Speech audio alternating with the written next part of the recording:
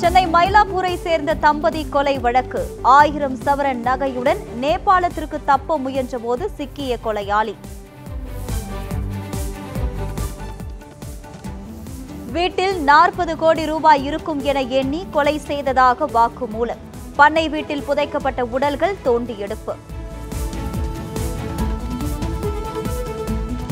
அண்ணா பல்கலைக்கழக சான்றிதழ் கட்டண உயர்வை திரும்ப பெற வேண்டும். அதிமுக ஒருங்கிணைப்பாளர் ஓ பன்னீர்செல்வம் வலியுறுத்தல்.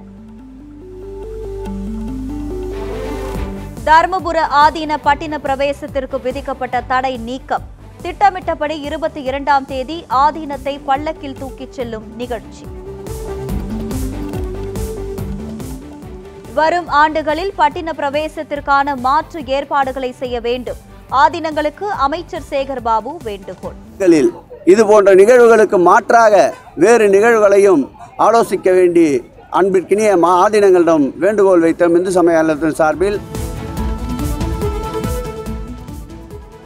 நியூஸ் செவன் தமிழ் மற்றும் கிங்ஸ் மேக்கர்ஸ் ஐஏஎஸ் அகாடமி நடத்தும் போட்டித் தேர்வுக்கான நிகழ்ச்சி. கோவையில் ஏராளமானோர் ஆர்வமுடன் பங்கேற்பு. சென்னையில் தறிக்கெட்டு ஓடிய சொகுசு கார் மோதியதில் நான்கு வாகனங்கள் சேதம். மது போதையில் கார் ஓட்டி வந்த இருவரிடம் விசாரணை. சென்னை திருவொற்றியூர் விம்கோ நகர் இடையே மெட்ரோ ரயில் சேவை பாதிப்பு. மின் கம்பிகளை இணைக்கும் பீங்கான்கள் உடைந்ததால் ஒரு வழி பாதையில் ரயில்கள் இயக்கம்.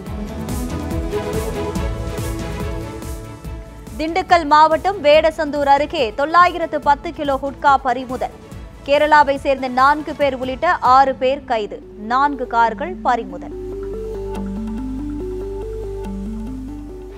புதுக்கோட்டை நகராட்சி குப்பை கிடங்கில் தீ புகை மூட்டத்தால் பாதிக்கப்பட்ட மக்கள் சாலை மறியல். காங்கிரஸ் ஆட்சியில் இரண்டு சிலிண்டர் விற்கப்பட்ட விலைக்கு தற்பொழுது ஒரு சிலிண்டர் விற்பனை. ஏழைகளின் நலனுக்கான கட்சி காங்கிரஸ் மட்டுமே என ராகுல் காந்தி ட்வீட்.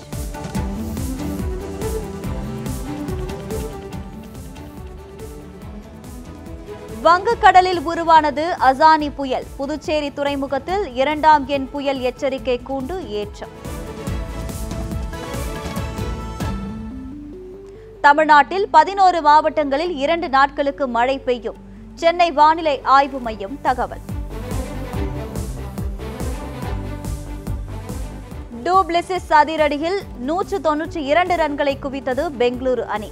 ஹைதராபாத் அணியின் தொடக்க வீரர்கள் டக் அவுட் ஆனதால் தடுமாற்றம்.